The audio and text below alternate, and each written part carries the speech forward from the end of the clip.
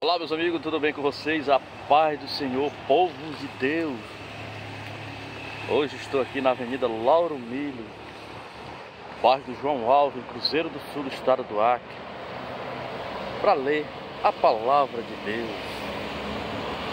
Meus amados irmãos, como eu sempre falo, a palavra de Deus ela é para todos nós, independente da sua congregação, mas a palavra de Deus é para todos nós.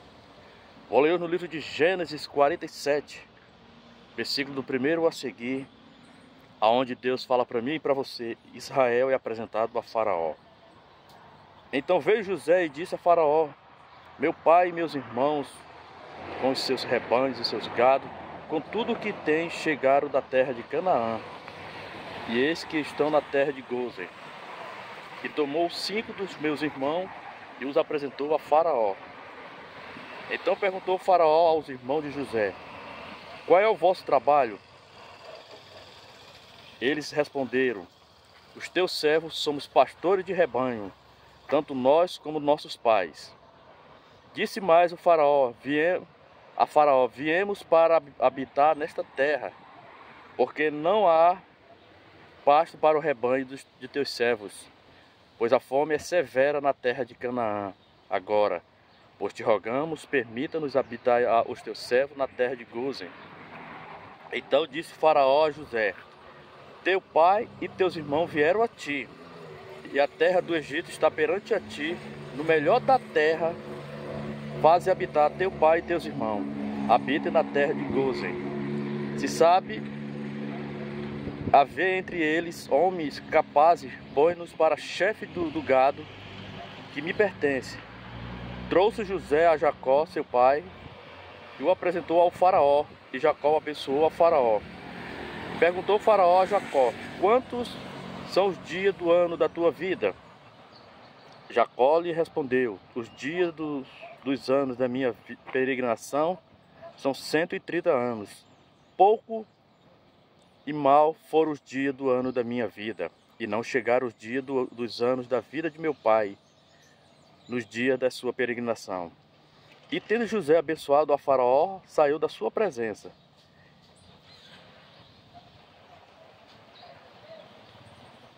E...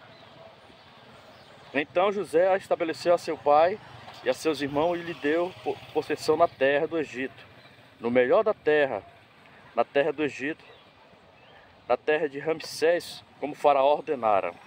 E José sustentou de pão a seu pai, a seus irmãos e a todos a casa de, de seu pai, segundo o número de seus filhos.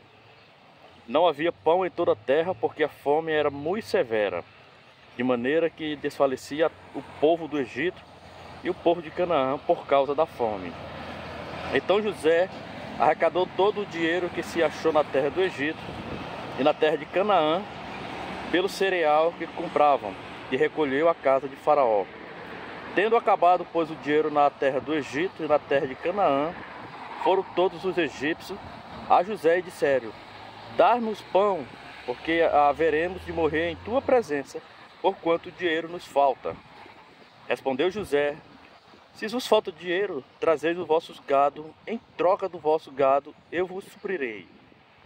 Então trouxeram-lhe o gado, e José lhe deu pão em troca do, do de cavalos, de rebanhos, de gado e de jumentos, e o sustentou de pão aqueles anos em troca do seu gado.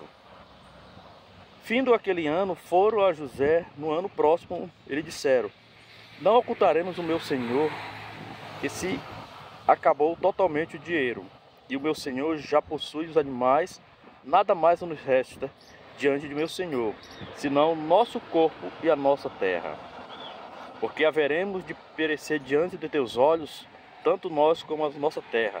Compra-nos a nós e a nossa terra a troco de pão, e nós e a nossa terra seremos escravos de Faraó. Dar-nos semente para que vivamos e não morramos, e a terra não fique deserta. Assim comprou José toda a terra do Egito para Faraó, porque os egípcios venderam cada um a seu campo, porquanto a fome era extrema sobre eles e a terra passou a ser de Faraó. Quanto ao povo, ele o escravizou de uma outra extremidade da terra do Egito. Somente a terra do sacerdote não comprou ele. pois os sacerdotes tinham porção de Faraó e eles comiam a sua porção que Faraó lhe tinha dado. Por isso não venderam a sua terra. Então disse José ao povo: Eis que hoje vos comprei a vós outros, vós terra para Faraó. Aí tende semente, semeie a terra. Das colheitas darei o quinto a Faraó e o quarto, a quarta parte serão vossas para a semente do campo. E para o vosso mantimento dos que estão em vossas terras, para que comam as vossas crianças. Responderam ele: A vida nos tem dado, achemos mercê. Só a terra dos sacerdotes não ficou sendo de Faraó. Assim habitou José, Israel, na terra do Egito, na terra de Goze. Nela tomaram possessão e foram fecundos, e muitos se multiplicaram.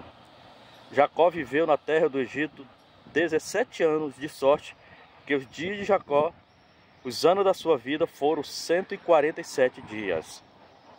Aproximando-se, pois, o tempo da morte de Israel, chamou José, seu filho, e lhe disse: Se agora achei mercê a tua presença, rogo-te que ponha a mão debaixo da minha coxa e use comigo de beneficência e de verdade.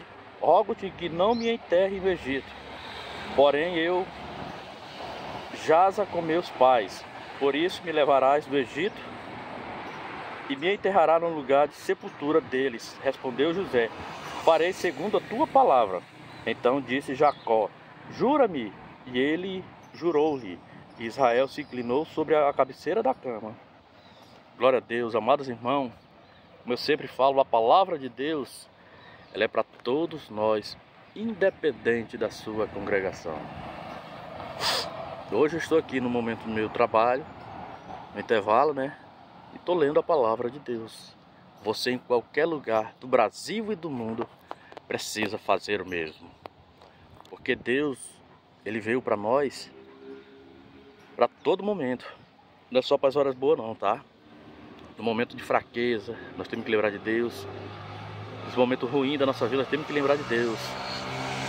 E no mesmo momento bom também. Amém? Essa é a palavra de Deus para todos vocês. Fique na paz e no amor do nosso Senhor e Salvador Jesus Cristo.